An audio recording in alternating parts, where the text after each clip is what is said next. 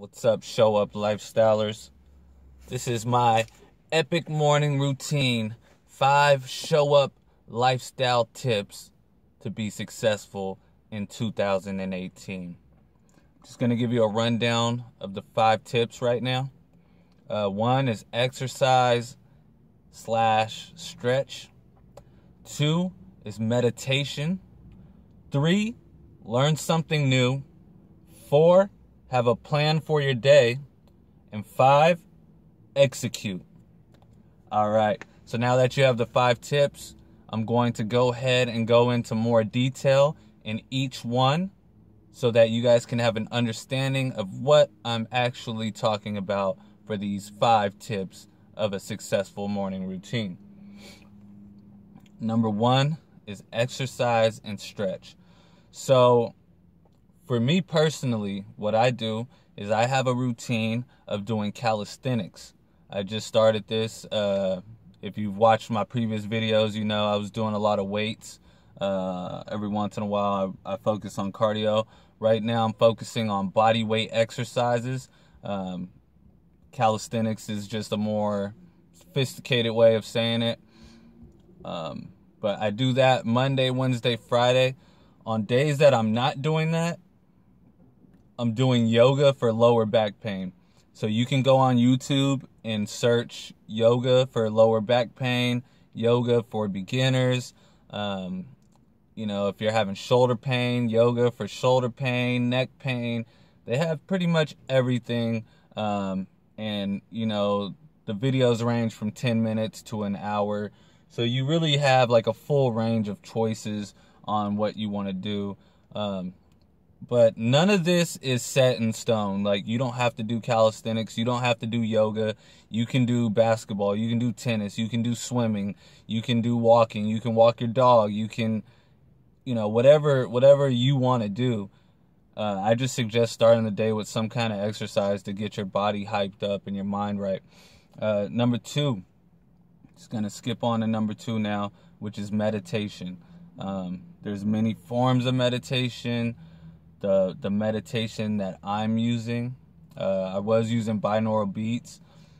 Uh, you can go on YouTube again, search binaural meditation, binaural beats. You'll find a range of selection from 10 minutes to like eight hours. They have some crazy ones. Um, but whatever fits for you. What I like to do now is I set a specific space that's quiet um, that I can sit down comfortably and spend 10, 15 minutes in silence and just focus on breathing. Um, this is what I've noticed helps me the most. Um, I don't get distracted or caught up in the music. Um, and it kind of helps me to clear my mind on my own without the help of binaural beats. So I, I feel like there's a little bit more mental focus when you're really just sitting in quiet and listening to your thoughts. And, uh, you know, meditation, you know, this is the time that I use to clear my thoughts. If I'm going to go exercise and I feel negative about exercising and I feel like oh, I don't really want to do it today, I might meditate first just to clear my mind so I can like notice those negative thoughts and go, okay, this is not where I want my energy spent today. I don't want my energy spent on these negative thoughts today. Today, I'm going to focus on how I'm going to feel after it's done, what it's going to accomplish, and meditate to just focus your mind and also clear it. Clear it and then focus it. Number three is learn something new. Again, this is not set in stone. This is just an example of what I am doing in this period of my life. Um, learning something new, it's always going to be different. And it just depends on where you're at in your life and what you feel you want to learn. Um, so right now, I I have Audible. Um, you can get Audible. Go to audible.com, sign up. They usually give you the first 30 days free. Um, and once you get on there, they give you one book for free, so you can pick whatever you want. Uh, it's a pretty cool app. I've had it for almost a year now. So, the last audio book I got was a Pimsleur course um, that teaches you Spanish. So I'm taking this course, um, and I read and I listen to it about 30 minutes every day, um, and it it's it's helping me learn Spanish. You know, um, hablo español un poco, but so you learn like learning this for me. Um, I just think Spanish is a good thing to learn. I live in California. There's a lot of people who speak Spanish. Uh, my girlfriend is Spanish or Mexican. She speaks Spanish. Her family speaks Spanish. I don't understand most of it.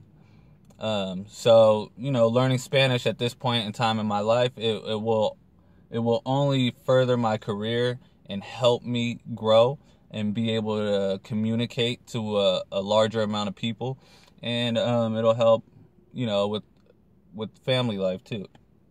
So learn something new. It doesn't have to be Spanish. It could be origami. It could be writing. It could be reading. It could be um, whatever you want to learn. You know. So just learn something new. Number four is have a plan for your day.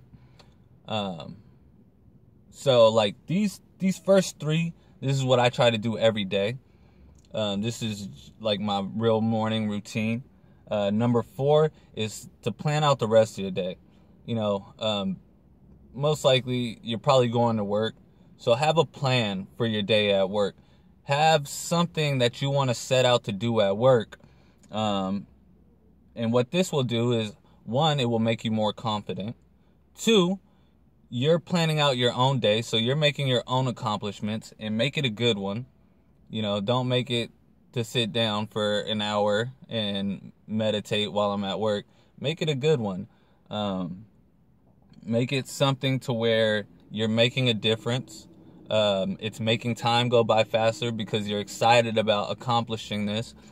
And um, just have a plan for your day so that you're not stuck in just reacting to everything. You have at least one plan one thing that you want to accomplish and don't get so caught up on accomplishing it because things will get uh, distractions will get in the way.